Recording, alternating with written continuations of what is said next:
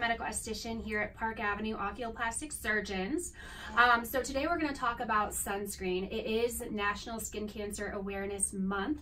Um, I have a couple of different products here that are medical grade sunscreen. So why is that important? Um, one of the things that makes that important would be that it has a physical block in it. So it's actually going to deflect UVA and UVB rays entirely away from your skin.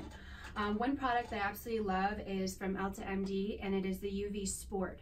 Uh, so really great if you're going to be outside sweating, doing water sports. It has zinc oxide in it and so you're protected. Um, another product that I love is from Revision and it's the IntelliShade. It's probably one of our more popular sunscreens.